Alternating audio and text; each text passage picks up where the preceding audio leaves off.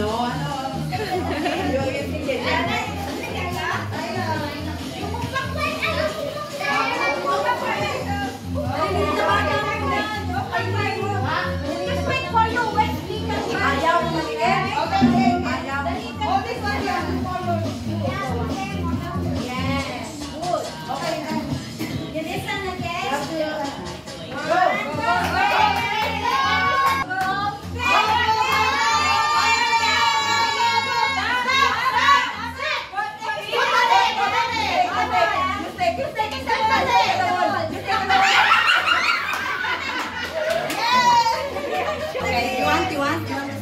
Okay, okay, tingnan mo nga. Oh, you want to plant and then you stick on the wall, okay? Okay.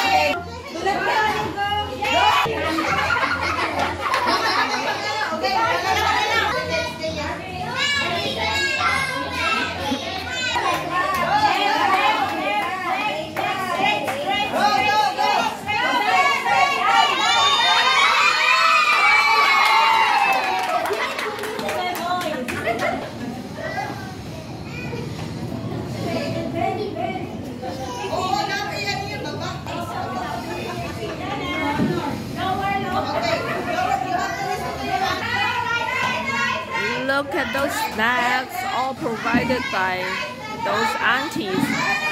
For those beers, of course, provided by me.